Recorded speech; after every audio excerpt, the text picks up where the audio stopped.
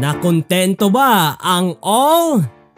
Napuno ng kilig at aksyon ang volleyball matchup ng Creamline Cool Smashers at Choco Mucho Flying Titans kahapon sa Smart Araneta Coliseum kung saan nag-celebrate ang mga volleyball fans ng kanilang Valentine's Day with the PVL All-Filipino Conference 2023.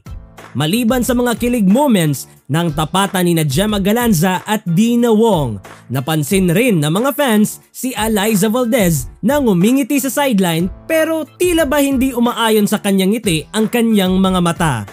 Bakit nga ba ito ang maituturing sa isa sa pinakamalungkot na Valentine's Day ni Eliza Valdez?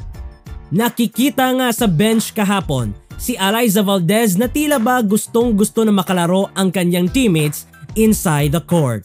Gustuhin man ni Eliza Valdez na makapaglaro pero hindi pa pwede dahil kasalukuyan pa siyang nagpapagaling ng kanyang injury na natamo niya last conference.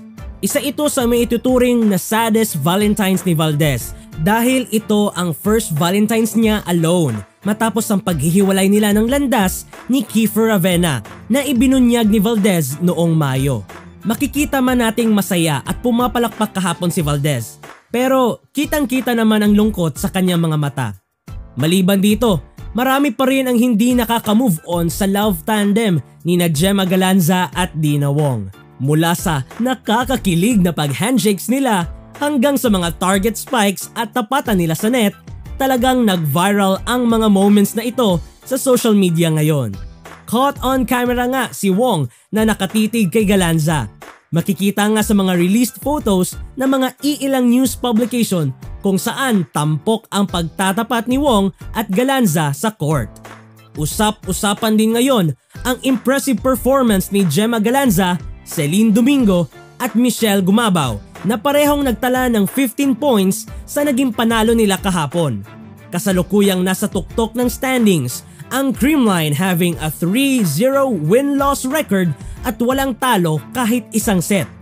Habang ang Choco Mucho naman ay natikman ang kanilang ikalawang talo na ngayon may win-loss record na 1-2.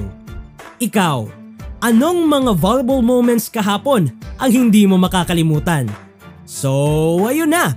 Baka may gusto pa kayong ikoda, comment your thoughts below lang. Again, don't forget to subscribe and click the notification bell.